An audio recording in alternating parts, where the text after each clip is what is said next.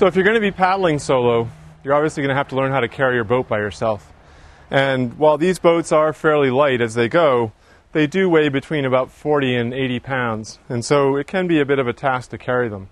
So you want to make sure that you carry them in a way that protects your back and uh, uses your legs and your stronger muscles of your body as much as possible. A good way to do that is to turn the boat up on its edge like this, kind of rest it on your knees or your thighs. You can actually pull it up a little bit like this. Now just kind of use the weight of your body to lean back against it.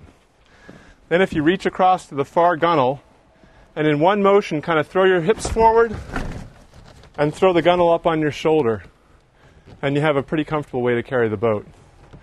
Some people actually even put pads in their life jackets on the shoulders in order to make it easier and more comfortable to carry a, a boat on their shoulder for long periods of time. But this method works pretty well for a long way, and uh, it's probably the easiest way to carry a solo boat. You can also, if you want, put it all the way up on your head. And often these boats rest pretty well on your head if you put your head on top of the pedestal, because that's about the balance point of the boat and you can just walk that way.